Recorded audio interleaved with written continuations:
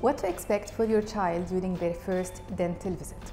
Normally, parents are anxious about what to expect and whether their children will be cooperative or not during their first dental visit. It is normally a short dental appointment. The dentist will examine the existing baby teeth. He might also look for any tooth decay. He will examine your child's bite, the gums, and oral tissues. The dentist will also educate you about oral health care for children and he will answer all the questions related to your child oral care like using the pacifier, bottle feeding, and many more. The first dental visit is a fun, exciting, and educational appointment that you don't want your little one to miss.